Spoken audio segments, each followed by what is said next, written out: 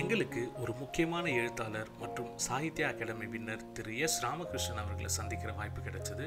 எங்களுக்கான சந்தேகங்களை நாங்கள் அவர்கிட்ட கேட்டோம். இதில் வந்து இருபது எழுத்தாளர்கள் இருக்காங்க. சரி அவங்க யார் யார்? என்னென்ன புத்தகங்கள் எழுதியிருக்காங்க? ஏன் படிக்கணும்னு இதில் அதுதான் இந்த புக்கு அதுக்காக தான் இது வாங்கியிருக்கோம். இது படித்தீங்கன்னா அப்புறம் உங்களுக்கு தெரியும். அதனால இதில் யாரை படிக்கலாம்? செக்காவா கார்த்தியா யாரை படிக்கலாங்கிறத நீங்களே சொல்லுங்கள்